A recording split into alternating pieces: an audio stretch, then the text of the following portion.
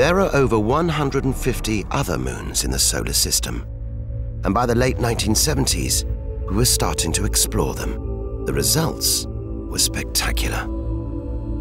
The journey of discovery began with the Voyager probes. They were sent to explore the outer solar system, the gas giants like Jupiter and Saturn. Until now, these extraordinary worlds had been seen only through telescopes. It took two years for these probes to reach their first port of call, Jupiter. Scientists all over the world were gripped, waiting for the first close-up pictures of the great giant. But when Voyager started transmitting pictures back to Earth, they were in for a surprise. It seemed it was Jupiter's moons, rather than the planet itself, that held the most exciting secrets. We thought the moons of the outer planets would be lumps of ice covered in craters. And that was about it. But when Voyager started transmitting back pictures of Jupiter's innermost moon, Io, there was a strange anomaly. A young NASA scientist spotted an odd-looking bulge on the moon's side. I came in about 9 o'clock that morning to the navigation area, and the tape with the pictures the spacecraft had taken the day before was on my desk. I put them on the computer system and I displayed them. And I could see that Io, the moon of Io, was a crescent, as very often our own moon is a crescent in the night sky.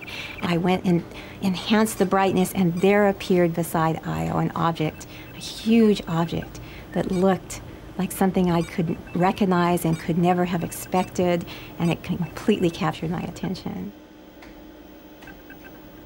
I wanted to know so badly what that was that I just had to ask myself, my goodness, what is that? And the answer that occurred to me first was it looked like another moon peeking out behind Io. But when she looked closer, she realized it was something completely different. And when I explored it, I was able to find that this large, strange object, huge plume of a volcanic eruption arising 270 kilometers over the surface of Io and raining back down onto it.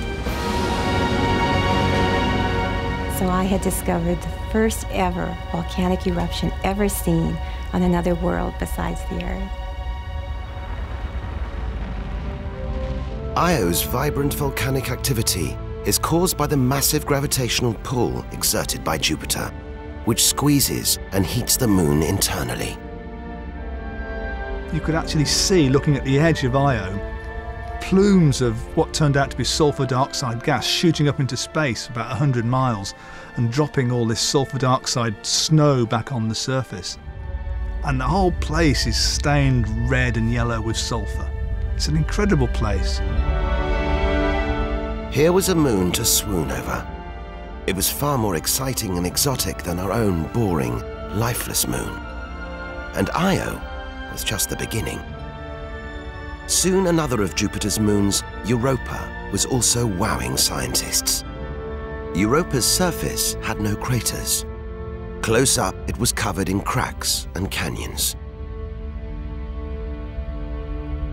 Europa clearly had a very young surface.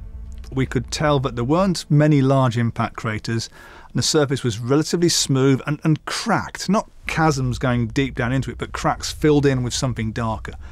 Um, a recently active surface. Looking at it, scientists realized it was similar to scenes they knew from Earth, from the poles. Europa was covered in ice.